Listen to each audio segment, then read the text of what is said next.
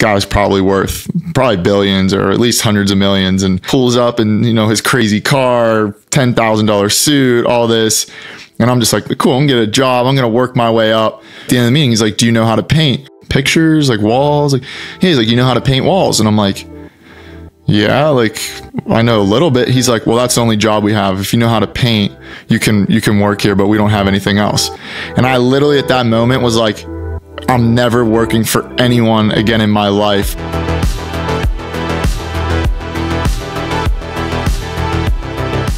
Welcome to the Lubo Smid podcast. I'm your host, Lubo, co founder and CEO of STRV.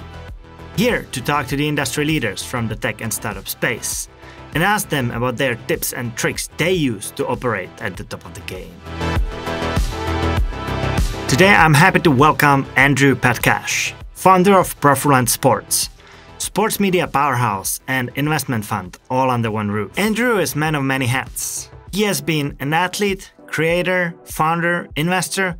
He has pretty much tried all of that, and he's now combining it in Profluence Sports that he launched in 2021. In this episode, Andrew shares what it's like to do a transition from being a college athlete to a sports entrepreneur. And he also mentions what motivates him to be building an informed sports community with no bullshit. So let's dive into the discussion. And we are rolling. Welcome, Andrew. We both appreciate you having me, brother. I, like I mentioned you before, happy to be on the other side of the, the podcast world as a guest again. So uh, thanks yeah. for having me. You mentioned you have done uh, uh, more than 70 episodes by now, and uh, you have not been uh, a guest uh, since starting your podcast. So we are changing things right now and switching it up. so I love it.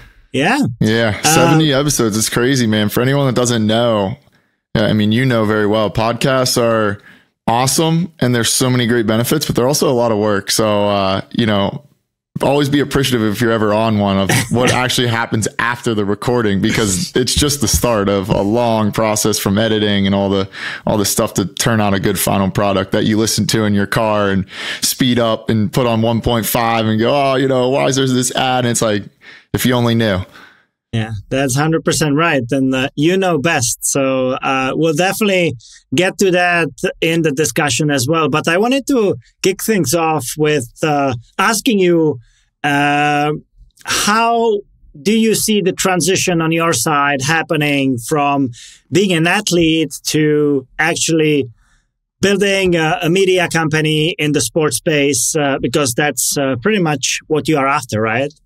Exactly. Yeah, no, I mean, it's been a great transition for me. I uh, went from thinking of playing a fifth year in college into worked for a sports startup for a little bit, but uh, just a couple months and then right into my own thing once I felt I had the base. But uh, it's cool, just even athletes in general, much bigger, right? I never made it to the pros, but it's cool to see so many of them now jumping into their own media stuff as well, like the Kelce brothers and Draymond Green. And there's just a ton of athletes now understanding the power of like, hey, I'm an athlete, but that ends. And media is a great intermingle to then what you're doing in business or whatever you like post playing days. So for me, it was a easy transition from, you know, a, a good college player into then this. But if you're like a even bigger athlete, it should be an even smoother and higher scale opportunity as well. Do you feel like it's expediting the whole thing that you suddenly uh, don't have to go through the entire life cycle to build up the following and everything? And like, if you want to do your own thing, suddenly you have a lot better chance to do so. Yeah, I mean, also as an athlete, like people know you're it takes a lot to get there. Now some people are blessed with genetics, right? Like even myself, maybe I wasn't blessed with six seven or six eight or super, you know, great jumping or speed, but I was still blessed to be six three, six four, you know, a solid athlete to make it to this level. But also there's a lot of work that goes into it. And so as an athlete, I think people perceive like, hey, a lot of work went into getting to that level, whether it's college or pros or whatever. And so they know it's going to translate well. And that's why even if you look at some studies, it's something like 95%. I, I, mean, I don't know if I fully believe this, but it's like 95% of CEOs played sports or college sports or something like that. and it's it's an absurd number, and it makes a lot of sense. It's just like it takes discipline and all this to uh, get to that level. So the transition should be easy, but a lot of people also get caught up, and they like for me, all I knew for 23 years of my life was basketball, and so then when you wake up one day and it's like, holy cow, there's this three hour gap of time, possibly even more, that doesn't have basketball now what? So it's a it's just a little bit of a mindset shift, but the athletes that figure that out while they're still playing, much easier and better transition than trying to do it when you're done. Yeah, I feel like it must be quite difficult when you make it to be a big star and then suddenly you don't have your future really lined up and then you end your career and like there is a huge hole suddenly, right? You don't know what to do with the time. I mean, I have not been in uh, such a situation, but I can only imagine. Oh yeah, it's a it's a massive hole, and you know, lucky for me, it, it worked out fine, and, and it was a quick transition because I had stuff going on in the background. But yeah, for some, I know. Yeah, I mean that's why you saw 10, 15, 20 years ago so many athletes going bankrupt because it was just like oh, I don't have, you know, a million dollars coming next month. All my sponsors are gone. Now what? yeah. So, what's been your personal breakthrough when you felt like, okay, now it's the time to actually start thinking about uh, doing something of my own? What was the what was the point at which it all happened? Yeah, I want to say even when I was really young, I always knew it'd be something on my own. My uh, parents are entrepreneurs, other people in my family, my mentors. So it was always, you know, I guess just in my uh, in my blood or DNA. And uh, it was really when I was 16. My my one mentor, he owns a bunch of businesses, owns a bunch of real estate across Pittsburgh. And he was just taking me around to a bunch of the different ones. And I was like, this is cool. Like he controls his day. He gets to work with all different t- kinds of people on different projects like I want that. So I put it in my brain and then I went to college and uh when I grab, I'll skip some of the boring and gray stuff, but I show up. So my mentor actually puts me in contact with one of the largest real estate firms in Pittsburgh. And I had a finance and real estate degree at Boston University. So good degree, you know, did well, solid grades, played basketball. You know, it's like, oh, this could be a great, you know, initial uh, I don't even know what they call it. It's like your first entry level job or whatever, right? And uh, he sets up a meeting not just with like the hiring person, but the actual CEO and founder of this massive company. Like this guy is probably worth probably billions or at least hundreds of millions. And so I'm like, all right, like if he can get me to this guy, like I'm definitely getting a job, right? So we go, it's a great meeting. This guy pulls up and you know his crazy car, ten thousand dollar suit, all this, and I'm just like, cool, I'm gonna get a job. I'm gonna work my way up. And he goes at the end of the meeting, he's like, "Do you know how to paint?" I'm like paint, like paint, like pictures, like walls. Like he's like, "You know how to paint walls?" And I'm like, "Yeah, like I know a little bit." He's like, "Well, that's the only job we have. If you know how to paint, you can you can work here, but we don't have anything else." And I literally at that moment was like, I'm never working for anyone again in my life under someone. I'm going to build my own things and I'm going to work with cool people and I'm not going to let that ever be the situation. So that was when I really knew. And, uh, yeah, then it just transpired and I just started building and, wow. you know, figuring out as I went. But that story, it was, it's, a, it's a great story. Yeah. It sucks so much in the time, but now it's very powerful for me oh to look God. back and, and be like, you know, that was the best thing that maybe ever happened to me because yeah. it just showed me like it pushed pushed me over the edge. Right. You, you did not feel like painting. No, I did not feel like painting like at all. Well, earlier today I was telling somebody my story how I got to entrepreneurship and but like similar to you, both of my parents were entrepreneurs at certain point in their careers. So right, I, I saw it inside out uh, because I was living it. But when I finished college, I was like, what do I do? Well, I was attempting to get a proper job. And pretty much that was the only job that uh, I ever applied to. It was uh, an assistant position in an insurance company, like random insurance company, not even like a good one. Um, and they rejected me. And I was like, I felt so, so bad that for me, that was exactly the same feeling that you described when you were offered uh, the painting job because I was like, I'm not putting up with this. I'm I'm going exactly. on my own, and that's where I get I got together with my co-founders and we started building STRV. Uh, but it's it's amazing how you know uh, things are very similar. That there is like you build up uh, to it, but then suddenly there is this like trigger, mm. and then it goes straight in. Yeah, I read somewhere. I think it might have been a book called Comfort Crisis by Michael Easter. Pretty good book. He was on even Joe Rogan, and, and that's where I think I heard about it. But he talks about actually a lot of people if they had events like we just had, it would be better for their lives where they have this almost manageable discomfort right? So like say I did get that entry level job but I hated it, but it'd be like, okay, I'm to getting a good salary, maybe I'm still working up, but it's like it's not what I'm truly meant for. But by just going painting or insurance and it's such just like a slap in the face, it pushes us to that other edge. And it's like if more people had actually things like that happen, it'd actually be better for them. And it's people say that with like girlfriends or boyfriends or whatever it is too, where it's like there's some discomfort, but not enough where you're like, oh, this is okay. But it actually be better if they just like did something crazy. So then you just moved on. Um, so it's just interesting stuff there. Well, you you gotta uh, get that slap in the face, and then uh, it sets you on the right direction. Exactly. And like uh, so, so that there was the inception to really do something of your own. But uh, uh, did you did you like ever think about continuing the journey as an athlete or what was the trigger for the transition from from from that to yeah. finally doing it no it's a good question i so name image and likeness which i'm not sure if your audience is familiar with this at all but i'll just give a brief overview in case they aren't but nil name image and likeness hit college sports so now college athletes amateur athletes can make money off their, you know, name, image, and likeness. So endorsement deals, sponsors. But there's these collectives and third party groups that came. So they're now paying athletes and it's kind of like salaries for athletes. It's a loophole. But anyway, that's this whole huge, massive, it's going to be a hundred billion dollar industry over the next probably 10 years. It's massive. But anyway, that went into effect. So I could have now started making money as uh, just through NIL. And I had a decent social following at the time. So that weighed into, into the decision because we had a COVID year. So I played four years at BU. Now they granted us a fifth year. NIL is coming. I could have went and played in Europe. So that's on the table. And so I really thought about it. Do I want to come back for a fifth year? Do I want to transfer maybe to a different school? Do I want to go to Europe?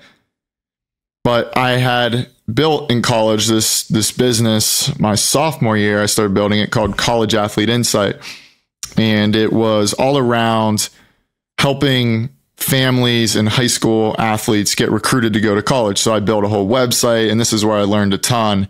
And uh, built, wrote an ebook that still it's like ten to fifteen copies still sell a month for me, and I haven't touched that website in probably three or four years. It's crazy. It's really really cool. But uh, and and that showed me the the value of passive income as well. Of like you can go and build something, and then you can benefit from it from a long time for a long time and uh, my Twitter started growing. And so I just decided I don't know really how I'm going to make money.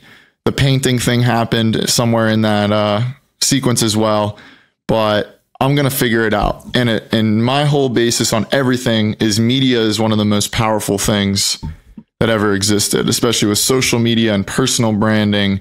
And you can reach thousands of people with a message that feels one on one and relates. So I, I, went on Twitter, did a lot of athlete business content, built a ton of relationships with athletes, agents, business partners on that side.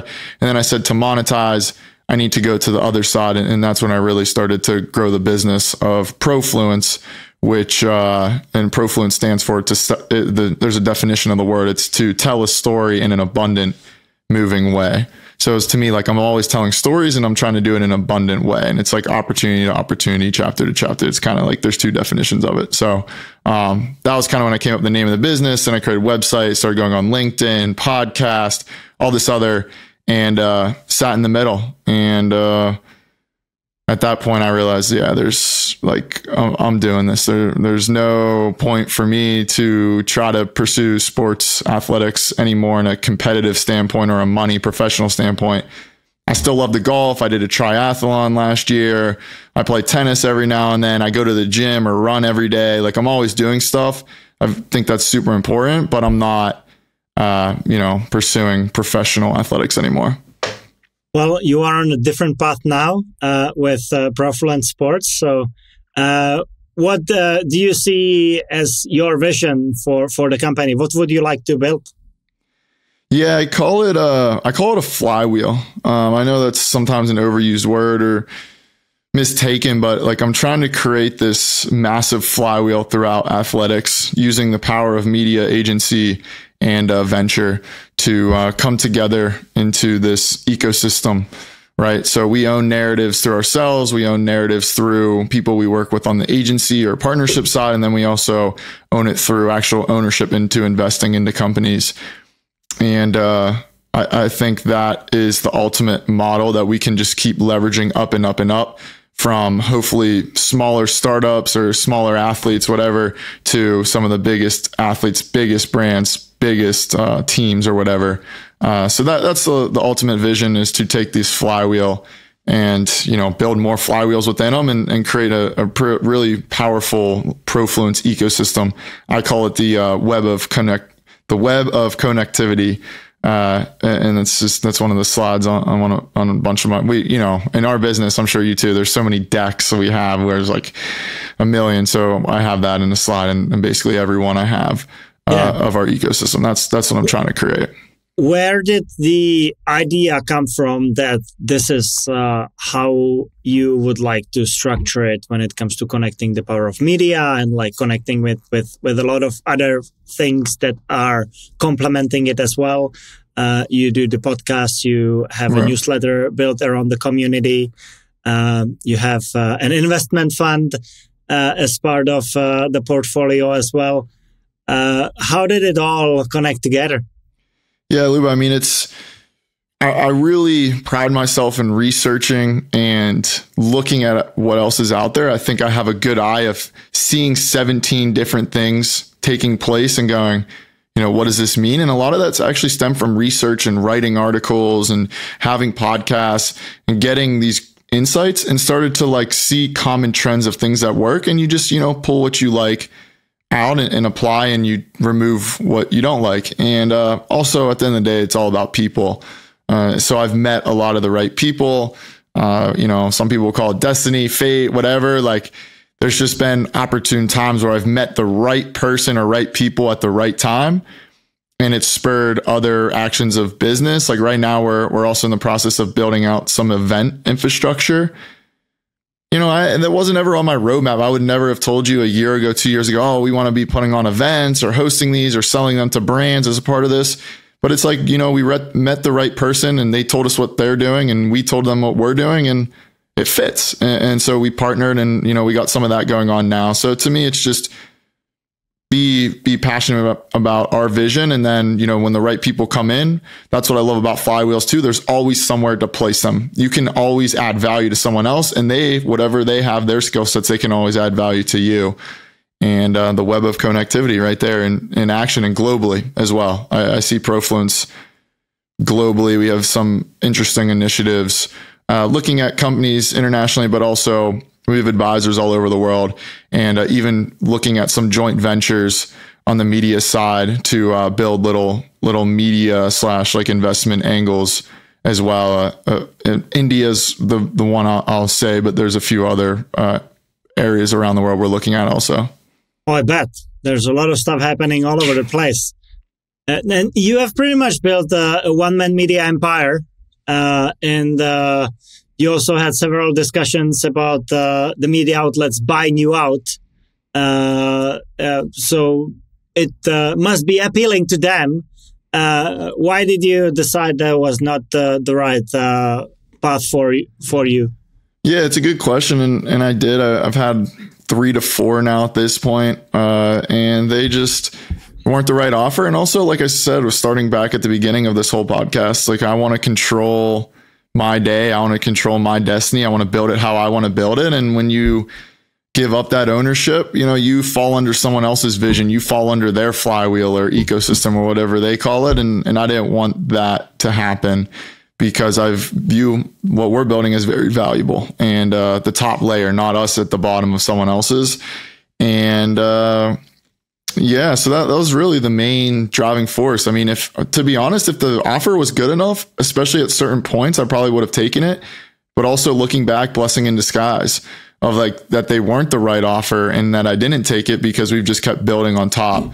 And uh, so so we've done some interesting things. We've folded part of the the media brand, and like you said, it, it from the external perspective, it does seem like a one man show with me there's some purpose behind that, but there's a lot of people behind the scenes, both, you know, full and part time and uh, partners in certain ventures as well. And, you know, even on the venture side, my, my partner, you know, he's, uh, raised billions of dollars in his career, built a bunch of funds and stuff. So we have really good people involved that we haven't per se released uh, publicly yet. Um, you know, a lot of people privately or behind the scenes may know.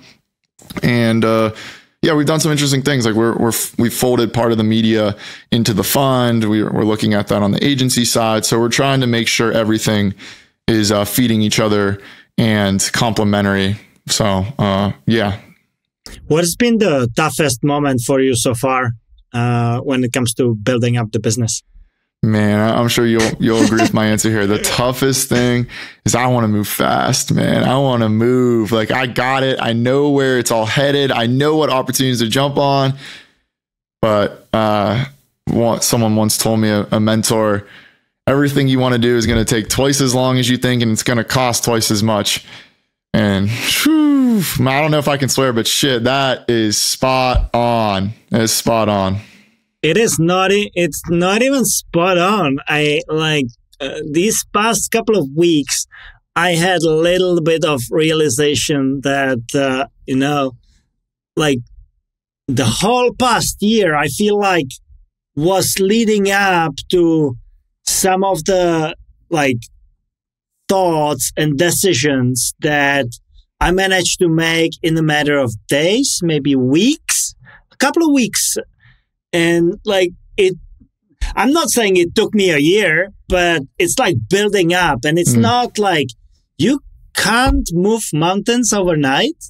Uh, and when it comes to like especially building businesses it it's a process. And i can totally relate with uh, what you are saying because i also like things to happen very fast. And many of uh, my fellow colleagues uh, hate that. That when I uh, when they ask when something is due and I, I, I, tell them as soon as possible or today or tomorrow, uh, they they hate that. But uh, uh, yeah, I also I also have uh, a little bit of that issue. Yeah, I'm with you. I, I like to I like to move fast, and so that's a lot of the partners I've tried to go with, but also as like you'll you probably aware too your colleagues you also need some people that pull you back as well because sometimes you can miss over little things and you got to think structurally and uh, so so that's been good. And that's something i've definitely learned. It's been a challenge for me because even right now there's a sport that i know is about to blow up in the united states. It's blown up globally and we own a, a, good media asset at the bottom. We own a newsletter and we've partnered with some very, you know, important people and brands on it. But like, I, there's no real league structure in the US. There's not much. And I'm like, I know that's what we is going to happen. I know we could go do it, but it's just like not moving as fast as I like. And then there's some people that just, you know, have billions of dollars that can move really fast and make that happen. So, uh, as we keep building this up, I like it because I think I'm going to be able to keep moving faster and faster as I meet more and more of the right people. And uh, they start to see like, I know where things are going. That's why I've built the media slash and it's media Profluence, but it's also a research arm. We do a lot of research. We put a lot of time and effort into understanding the data and where trends are going. I do it for myself. We have writers, but I also end up editing and writing a lot myself because I want to understand. Like if I dive in, like right now I'm diving deep into two areas of sports. No, they're not sexy, so not many people talk about. But like, there's such an influx of sports consultants, and then also sports tourism is taking off. You never see anyone talking about that. But I'm diving really deep right now into the numbers and the ecosystem and the space and market maps, and like I understand it inherently well now. And so it's such an advantage uh, for me. And, and then obviously that research and media helps both the fund tremendously from understanding, you know, the landscape and what companies have a great chance to win. But then it also helps the agency side of, uh, you know, knowing where to go find talent or, or build build assets alongside. Are you keeping it a secret what uh, the sport is that, that you think is about to blow up? Uh, I, I, won't keep it a secret because at this point, you know, there's probably already things in motion. We got things in motion too.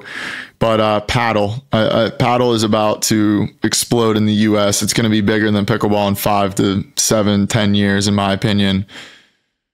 Yeah, I've, I've done deep dives. We own a good media asset at the bottom of it. So if it does blow up and we don't get the chance to build the league, that's okay because we, we're going to own a good media asset.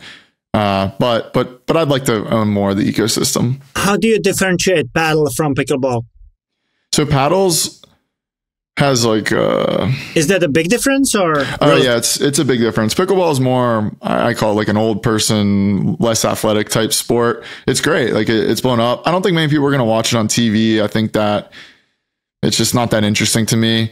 Uh, even though it's the league's done well they brought in all these athlete investors and it's worked to grow that the teams went from like $100000 to now $10 million valuations i don't know what you're buying but anyway Paddle's a lot more exciting, a lot more interesting. You can run around walls, you can hit off walls. Really, you got to be a better athlete. So I think the media and TV appeal is certainly there. And then also, it's just if you're slightly a little more physical fit, it's it's a much more fun sport. And uh, it's not like as demanding as tennis. It's you know two on two, so there's team, there's walls, you can hang out. There's uh, some cool stuff. So yeah, I, made an investment into a, a, paddle type thing through our through our fund as well. Um, that we're excited about, but there's a much bigger plays at hand there. Paddle, if you're listening, it's it's going to blow up. So if you own like land or you want to think about a facility, uh, you know, we're, we're happy to listen to those conversations, but also, you know, yourselves, uh, it's a good opportunity. There must be something happening because I, I heard about paddle recently, and that's why I'm glad that I now have you on the podcast so you can educate me more about the differences and uh, maybe I get into uh, the sport as well. But uh, yeah, I, I think that's a like as you have something new like this uh, on the rise, that's new opportunity for the people that own real estate, right? To also like think about, mm. oh, what what what should I uh, put on my land? And uh, yeah, and that's what's cool about our media angle. Like I could put out an art. I did this for pickleball. I put out a pickleball article just about here's ten ways you can make money off pickleball. And literally, I've never gone through, I don't think I've ever even finished reading all the emails of just people, hey, I own a warehouse, or hey, I want to start a league, or hey, I want to start this, or hey, I have this. Uh, so our, our deal flow is uh, pretty crazy um, from that standpoint. We just see so many opportunities, um, and that's why we built started building the investment arm just to capitalize on some of those. So when it comes to paddle, nothing has really formalized as like an official uh, uh league or anything like that. Uh, there's a league in the U.S. Uh, I won't go too deep into it, but there's just if you look at a lot of the leagues and the reason why Saudi Arabia has made and the PIF fund has made such strides across sports is these models are just outdated. The operating's not great, and and uh, paddle it, same thing. It it it could use some some innovation, and that's why golf classic example. I think tennis is next. Combat sports is coming.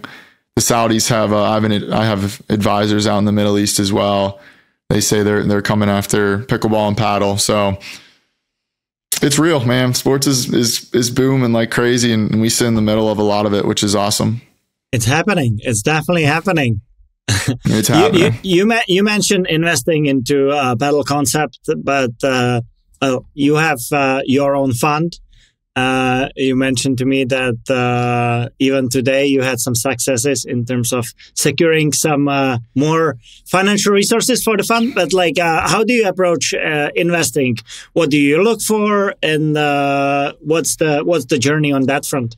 Yeah, it's a good question. So we, you know, obviously built the media assets in the agency first to have like both bring in inflow of deal flow and interesting stuff, but also be able to now push forward portfolio companies to place them into strategic things. And I made a bunch of angel investments myself, but uh, just started to realize like there's a real opportunity and structure here. So we created Profluence Capital off of it. I partnered with a, a guy out in New York City that runs huge private equity and funds, and we formalized it and. Uh, you know, raising a 25 to 50 million dollar fund out the gate. You know, we we've done we we just launched it a month ago. We've got great initial traction. We uh, closed two investments, looking at the next three to four. Uh, and we're looking at early stage sports tech media companies. So ones that fit in that sports thematic view. We've looked at data companies, leagues, teams, uh, and on obviously a lot of merging leagues and, and smaller things like that. The software companies that plug and play, NIL, U Sports, sports betting, you know, anything that really falls under the uh, umbrella. And you know, we're in stealth. I think this is probably the first time I've even talked about it too much publicly. But uh, you know, we're we're at a good spot and the traction's really picking up. So there's nothing to hide now. And, and it's really nothing's changed. Like I, I've been investing and looking at stuff myself and through syndicates for a couple years now. And so now it's just like formalizing it more into a real structure where we can go own more of companies and really push them forward. So uh, yeah, that's Profluence Capital in a nut, but uh, always looking for for new LPs. I'm uh, happy that I'm getting some secrets out of you. Yeah, that's, well, that, that's great. Yeah, it's uh, it's, it's I, I mean, I, one thing I will say is I try to build in public. I can always be better. But my whole thing is like if you're building cool stuff, the pie is big enough for everyone.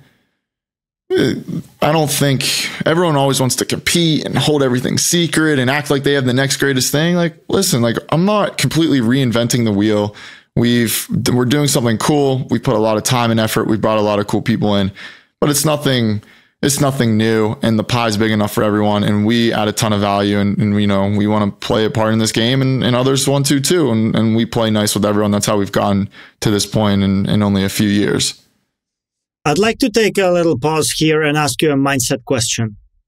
Uh, because it seems like you are like very passionate about investing, and usually uh, people don't get to investing until later in their career, or at least I feel that way.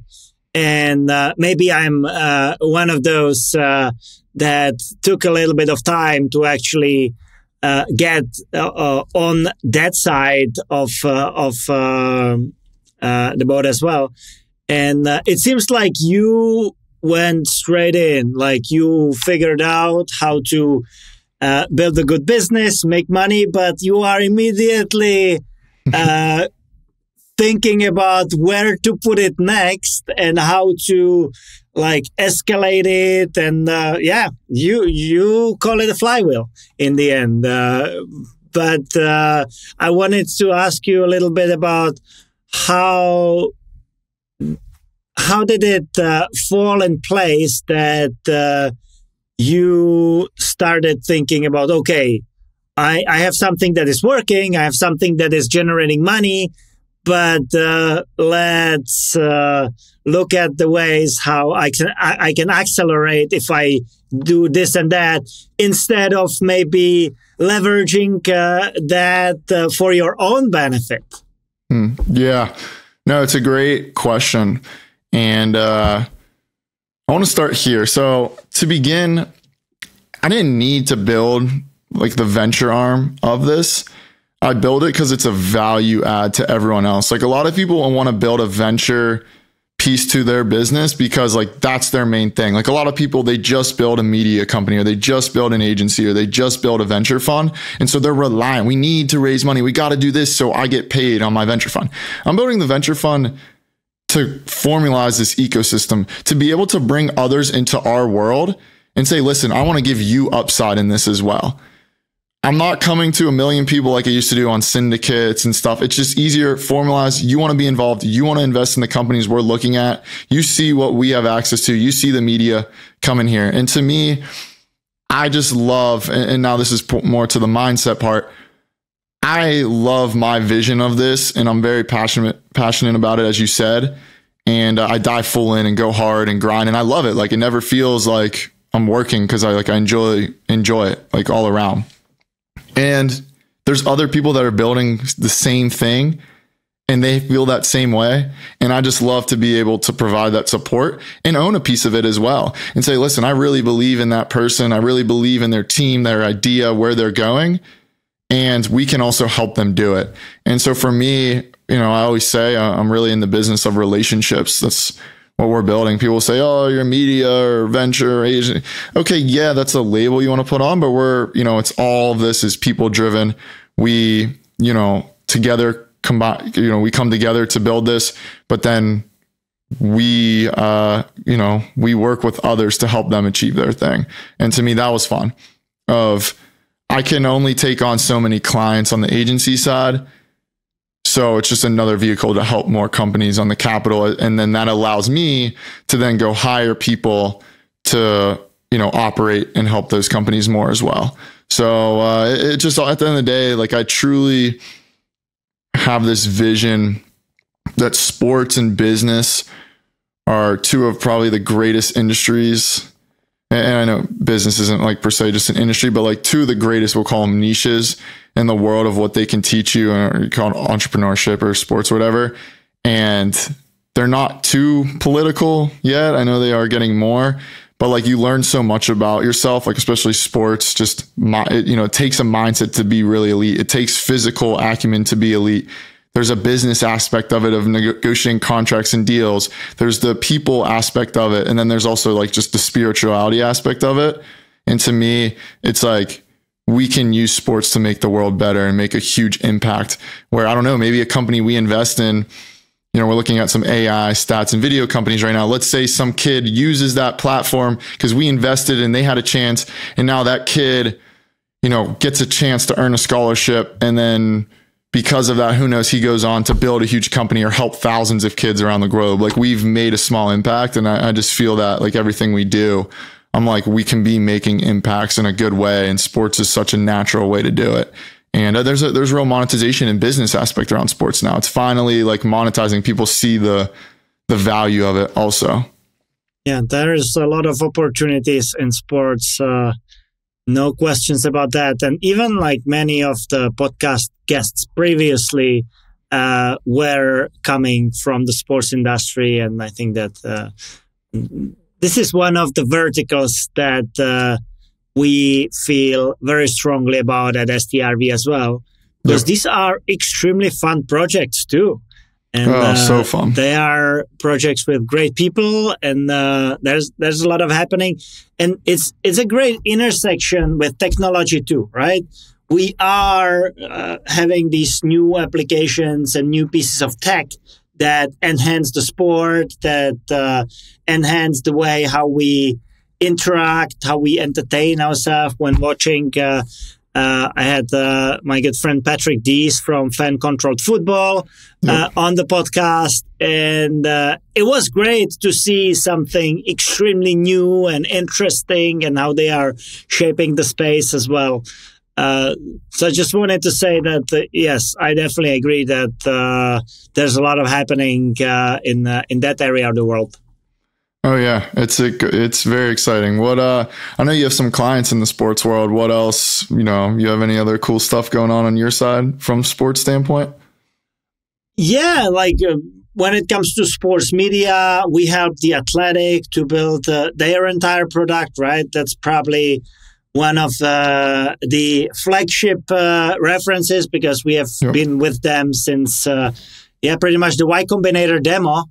Um, and uh, almost all the way up to the acquisition. And they have waited uh, for that uh, for quite a while to see that uh, great success. Yeah. Now I just have a, I have a question for you. You don't you don't have to answer if you don't want, but did you guys have any equity in them from building all their stuff, or just strictly you know retainer basis throughout their well, career? Um, I will tell you one thing, uh, and uh, like I'm, I love working for other people. And uh, by that, I mean, it could be for other businesses, right? Helping them to build their digital products or us building our own products and launching them on the App Store uh, for the consumers uh, and end users.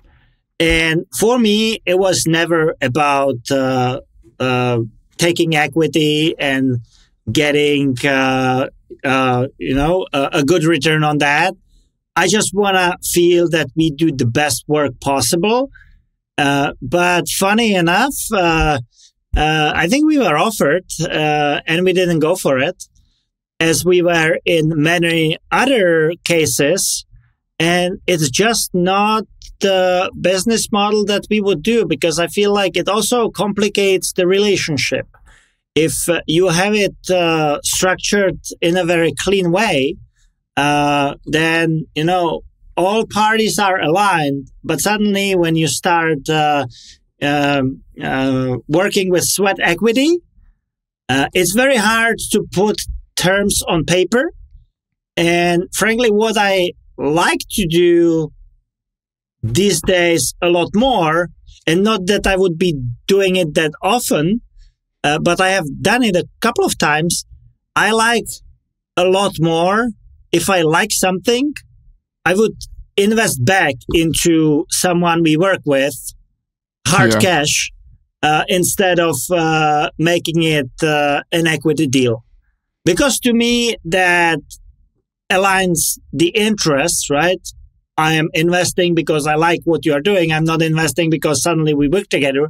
And you are hiring, uh, you are hiring STRV because you you love the way how we build our products and uh, so that that's pretty much how i have it structured in my head uh, not that it i could not imagine it to work and of course like uh, have we worked on uh, products that were massively successful where we would see huge returns yes but at the same time do i regret no not at all. I, I, as long as the product that we launch is successful, then I'm beyond happy. Yeah, no, it's a good mindset around it. And that's definitely how when I started a lot of around consulting clients, I would, you know, they would pay me a retainer. So view it the same as what you guys would have with the athletic or whatever. And then usually when I was done, I'd be like, Hey, you know, I liked what you were doing and I'll put half of back whatever they paid me into like invest back into them as then you know earn a little equity or whatever so that, right. that makes that makes a lot of sense and then yeah from our yeah our agency perspective like what we've built is completely different from you do we we work with a lot of like uh, social media influencers or brands like more individuals and create like events and activations and sometimes their newsletters so like completely different from what you do but we create a lot of the times like 50 50 uh, partnership equity ownership deals as well. So it's like they don't have to pay us like to to just do set this all up for them, but then we have to go sell and bring money in for both. So like there there's no perfect model in in the whole agency world. But yeah, I know like, you have that's a good perspective around it. I was just curious because I know the athletic was like a five hundred million dollar yeah. acquisition or something like that. And I can imagine that uh, in the future of STRV, there will be times where we will want to risk more and where we'll be happy to take more responsibility and uh, not just as like a, a, little bit of sweat sweat equity, but building joint ventures, making big bets, picking the right partners for that this is the direction that I would definitely like to be pushing because I feel like there is huge opportunities, but uh, this is not what we are talking about here, right? This is more about like, uh, give us a little discount and uh, we'll, we'll give you some shares mm-hmm. back. Uh, and to me, that does not really, yeah, does plus not really align, lot, right? Yeah. Plus there's some of it out of your control as well where yeah, there's the athletic, but there's probably a ton of other brands you've helped that, you know, the, you know, maybe didn't work out. And so it's like, then that equity is worth nothing. So equity, yeah, I always say it, uh, it's one of the, sh- it's such a funny capitalism US type based thing where it's like, Hey, work for free. We'll give you this maybe imaginary future gain that could be worth a lot, but we're not going to pay you up front. It's such like a balance, uh, but it, it moves people, man. It, it, you know, having a piece of a potential future pie moves people. It's interesting. Yeah. I, I wanted to also ask you, like, how do you think it's beneficial to combine many aspects of what you do from like being an athlete or like at least used to being an athlete, uh, uh, being a creator, uh, founder, consultant, and investor. That's a lot of hats. Uh, not that I would not be wearing many hats too, but uh, I would like to ask uh, your perspective on splitting time between many of these areas and how they either complement each other, which I assume is the case, or mm. how they uh, make things difficult. Yeah, it's uh, everything's a balance, I believe, and actually so a trait of me that if someone would ever ask me, I don't know if I'll ever be really in an interview seat or giving someone my resume, but if a question was like, what is your weakness? Mine would be I get bored with things quickly. I just know that about myself. And so how I've shaped everything in our business, even though a lot of it is actually the same thing, it always feels different to me because either on the media side, I'm researching something completely different obviously on the investing side, always looking at different things on the agency or consulting advising side, different things. And then also have having really smart partners that fill voids or gaps in between all of that really helps. So yeah, it might look like all of that, but they all combine. And truthfully, a lot of people actually are more than they think, right? Like I can say, you know, I'm founding this and investing, but it's like, yeah, okay, like so is anyone that founded a venture thing. They're also a founder and a, and a you know advisor, and so they're actually like all you know. A lot of them are just wording.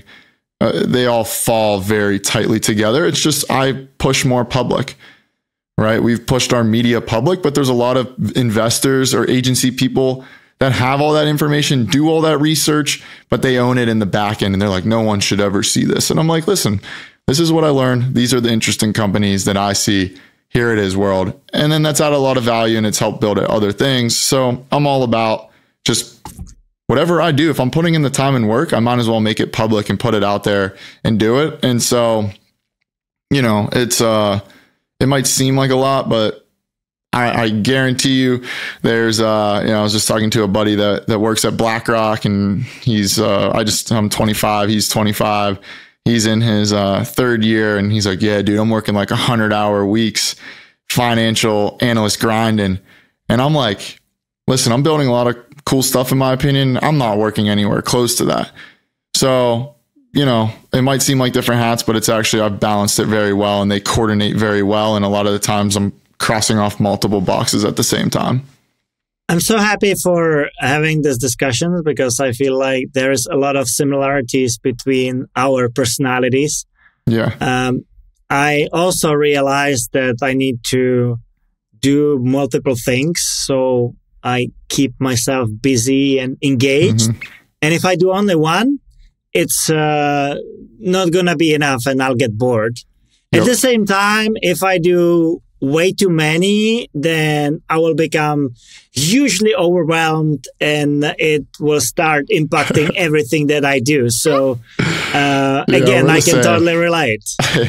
yeah. I mean, at one point I was like, I tried to even add videos and doing like, trying to be more of a creator just because people, and, and that's when I got overwhelmed and I was like, okay, that's not important. So to me, it's always, and I'm sure you do the same thing, trying to, step back and take a day and and bring out the notepad and you know uh, really think through like what is everything I'm doing? What are the most important things? What can I cut? What can I add?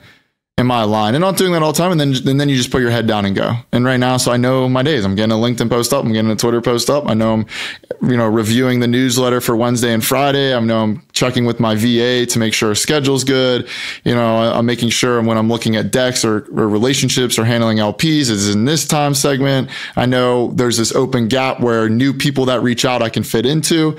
And it's very routine based and disciplined, but it's, every day's kind of the same, but also like all those conversations and research and content is different. So it uh it works nicely um, well, for me. Based on what you just said, it seems like you have your schedule very nicely structured. Yeah, I mean, people will be like, uh, even for me, like when I host my podcast, like it's two or three Eastern time, unless, you know, I'll make exceptions if you're from a different country and the time zones are a little messed up. But like, I, even me, like, it's like, no, that's where it fits in my schedule. Like, if it doesn't fit in yours, then let's do it a different week where it does fit. Like, I'm not, I don't try not to move things around too much. It just, I don't like that. I like going to the gym at 10 in the morning. I like waking up, doing my media and content stuff, and then going to the gym at 10. And so when someone's like, I want to call it 10, it messes everything up because then I got to like really shift. I I have something to learn from this. I love going to the gym at 11 uh, but I can rarely make it at 11, unfortunately. I like, for me, like, I know what my ideal day would look like, but it's uh, relatively hard to stick my, with my ideal day every day. Yeah, no, trust me, it's it's definitely hard. Like to, uh, I'm I'm you know I'm lying to myself on this own podcast today. I didn't even get it ten because I just had a million different things, and, and I mentioned before, but like we landed a new client. I was doing some LP stuff, and you know a new investor, and so it didn't happen. But it's okay because when I go and do my workout later, I'll be happy because I'll be like, oh yeah, look, look what we did at that time period I was supposed to go. So uh, yeah, it's all good, man. Balance routine. Yeah. That's what it's all about squeezing it, uh, squeezing in a workout somewhere is uh, definitely important.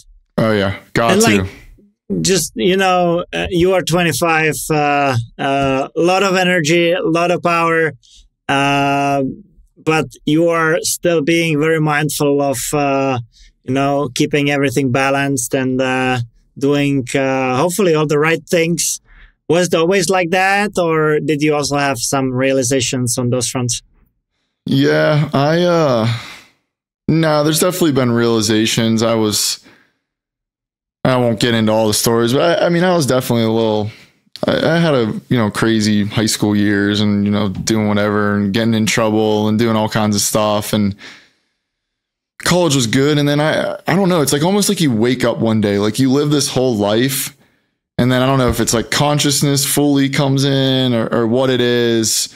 Um you know, have had some just experiences uh, as well where you just kind of, you know, start to realize the meaning of stuff and and uh, yeah, no, it definitely it definitely wasn't always like this. And I'm sure I'll look back in another five years and be like, man, I was I didn't what like what what uh but but really to me it's just like I'm just curious and I'm always trying to find I'm trying to find more about myself, about life, earth, why we're here, why things happen the way they happen. And just I follow that. And so to me, it's, you know, I have my staple like every day I, I meditate for 10 minutes and I haven't missed that in two years now. And uh, two years straight? Yeah, two years straight. I've, I've got like my whole thing, but you wow. got to even go back another layer of that is because that's, I read a book called The Compound Effect. And it said like it takes 18 months to really like actually see all the benefits from something, but you got to do it every day. You don't got to meditate for an hour every day. You, you don't want to overwhelm. So to me, 10 minutes is perfect. And I've never, I've done five minutes and then I moved up to 10 and I've never, I don't really plan to go more or less. Like it just fits perfectly. I do it after I shower at the gym. It's built into my routine and it's great.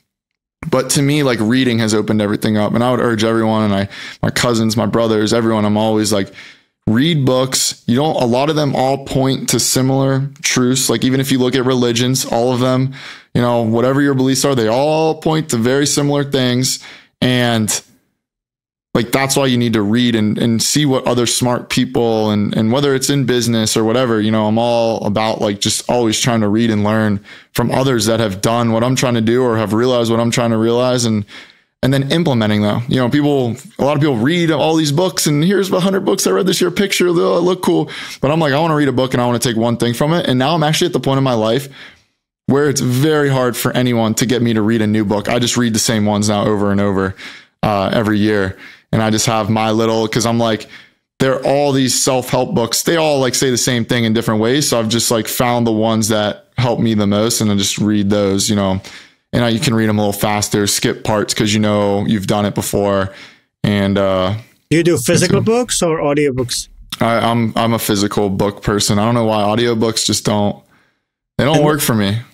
And like as you read it over and over again, do you always find something new? Always find something new. And the craziest book ever, I'll say, like I read it, I've read it every year. I've actually read it twice this year. It's called The Power of Now by Eckhart Tolle, and it's all just about being present in the moment. And you just you just become aware of like the here and now, and and ma- because your whole life happens in the now like we're always thinking about the past or always thinking about the future but everything actually happens in the now and if you're super focused on the now you'll actually optimize it with whatever you're doing lifting or having a podcast or researching whatever it is like be fully in it and I'm still terrible at it like I'm still I'm getting better and better every day but that book just opened up everything to me because it just like taught me to maximize each moment instead of like lollygagging thinking about everything um, so yeah, it's uh it's a journey, man. I'm trying to enjoy it, but even myself, you know, I I, I get ahead and uh, you know, you start thinking about where you're gonna be or want to be. Um, but I'm also like everything in my life I've wanted to happen has happened. Maybe not the way I thought or wanted, but like it has happened. Like I really wanted to be a D1 athlete, like it happened. I wanted to run my business, it happened. I wanted to have a venture fund, it's happened. So it's like, okay, I know what I want now, still in the future, but like come back to the now and enjoy it because then once you get there, it's going to be the next thing. Um, it's always the next thing. Yeah, I'm I'm trying. I'm I'm getting I'm, my Buddha nature to come out slowly day by day, but I'm uh, trying. I'm trying as well. We are we are similar. yeah. That. No, it's it's awesome though. It's awesome. How did you perfect your sense of uh, community building? Because uh, I feel you have uh, a special twist to it. Yeah, I mean, kind of relating back to the, the beginning, I try to reach everyone. I try to like get to you and how you're feeling, and also, especially just in the way I write or communicate. I, I like, I mean, it's just the truth. Like our attention spans these days, they they suck. There, we all have short attention spans, and we're we're dragged all over. But to me, it's like if you want to build, you got to add value to others, and so to me, it's also it's always been about okay, well, let me give you the best research report so you don't have to go do it. Right.